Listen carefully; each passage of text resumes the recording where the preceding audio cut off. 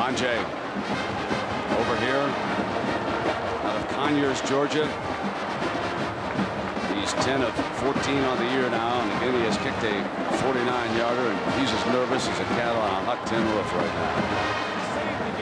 And then an interception with two guys wide open. Quincy pulls the string and gets intercepted to allow just a field goal to be attempt to win it. And, and here comes Manget on the field right now. They will not even attempt, although unless they want to fake it, but I don't think they will. Here, a 37-yarder for the win. Luke Manget, and timeout has been called by Georgia in an effort to freeze the field goal kicker. You get two tries this way. You could fall on a bad snap and try again.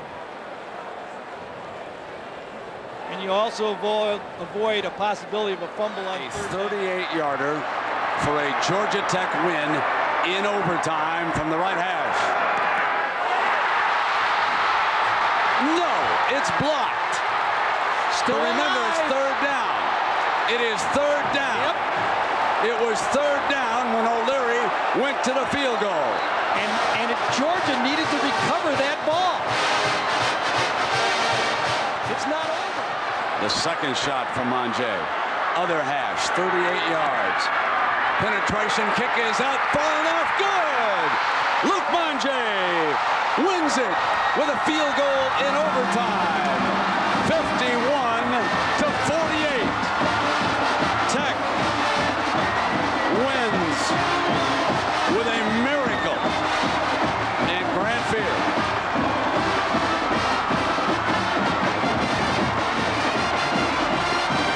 Fifty-one forty-eight. Georgia Tech beats Georgia in overtime. All right. Thank you, sir. All right, Luke, just what you dreamed of, game-winning field goal. How did it feel? it was unbelievable. Words can't describe it.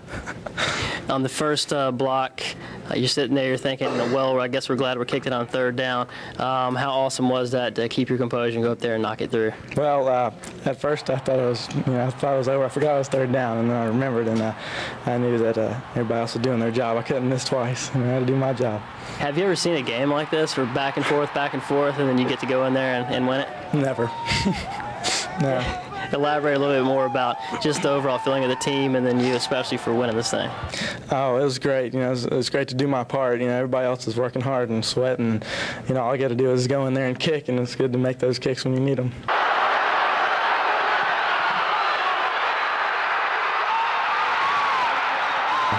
There's always the, the most pressure is always on the kicker because if he misses, everybody's after him. But if he makes it, then he's the hero. Uh, how does it feel to be the hero today? it's great. It feels a lot better than being the goat. How about uh, particularly beating Georgia, your uh, your rival? How nice was that? Oh, it was great. Um, you know, Georgia, been nice, but uh, I can get used to beating them. All right, thanks, Luke. Fans, they'll never forget what happened at the end of regulation.